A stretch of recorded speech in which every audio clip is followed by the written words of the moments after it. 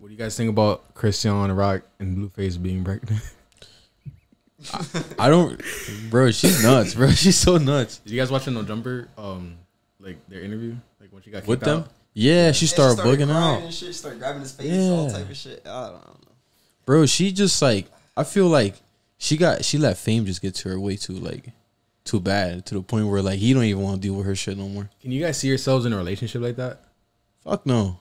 Listen, we live in an age where people think that toxic shit is cute. Deal with that for like two, three years and see, see if you have the same answer. You know bro, what? I'll do that shit for a fucking week and I'll be like, yo, fuck this. You need to get the fuck out, bro. Like, You know, all the girls that I ever deal with, they're always like super chill, right? Like they're always on some chilling shit. Cause I'm on some chilling shit, right? right? You, I mean, you're bringing what what you are. You know, you attract what what you are. But I always think of like, cause cause people look on the outside into relationships and they see like these abusive relation. I don't know if you guys ever been in like abusive relationships, but they look on the outside into these like blueface type of relationships where they're like fighting and shit.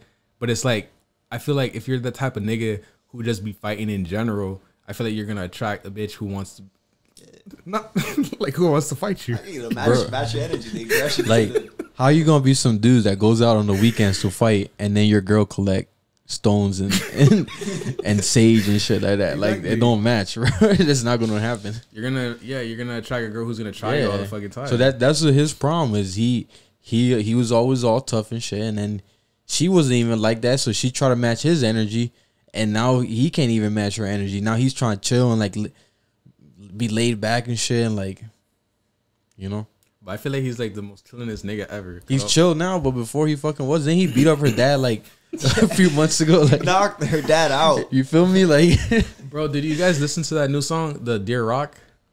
who sings I, I posted on my story. Who sings that? Blueface and Chris. I, I don't listen song no no Blueface music, bro. I, I don't condone those type of relationships, bro. Bro, all right, so so basically in that song, I'm gonna show you guys after, but he's like basically like, "Oh, I'm sorry, I had to do that to your dad." Can you imagine you rapping about beating up your girl, your girlfriend dad? Can you imagine having to beat up your girlfriend's dad? right. I could. I mean, I couldn't, bro. Like, that's just some some reckless shit.